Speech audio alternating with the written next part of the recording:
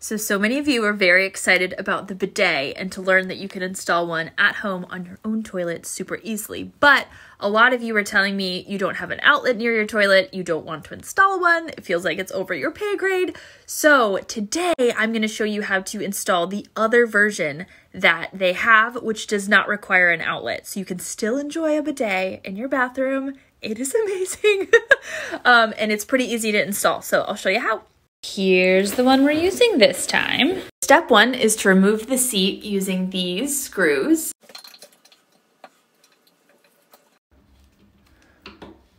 Now we need to put this on. So these go in here. This goes on here. Now we screw these back on the bottom.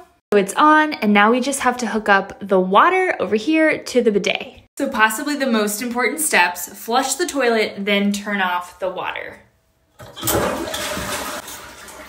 So now we're adding this T-valve onto the bottom so that we can attach a second hose to the bidet.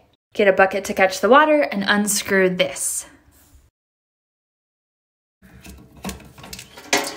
Now I'm adding some Teflon tape for a super tight seal. Screw this onto here nice and tight so there's no leaks. And then we're gonna attach this to here. Getting it super tight. And attach one end to here and the other end under there.